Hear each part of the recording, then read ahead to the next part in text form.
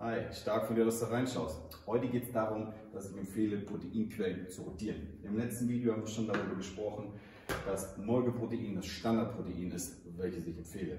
Blöderweise hat jedes Protein das Potenzial, Lebensmittelunverträglichkeiten auszulösen, die sich darin äußern, dass du einen Blähbauch hast, beziehungsweise zwei bis drei Stunden nach deinem Post-Workout-Check immer noch keinen Hunger.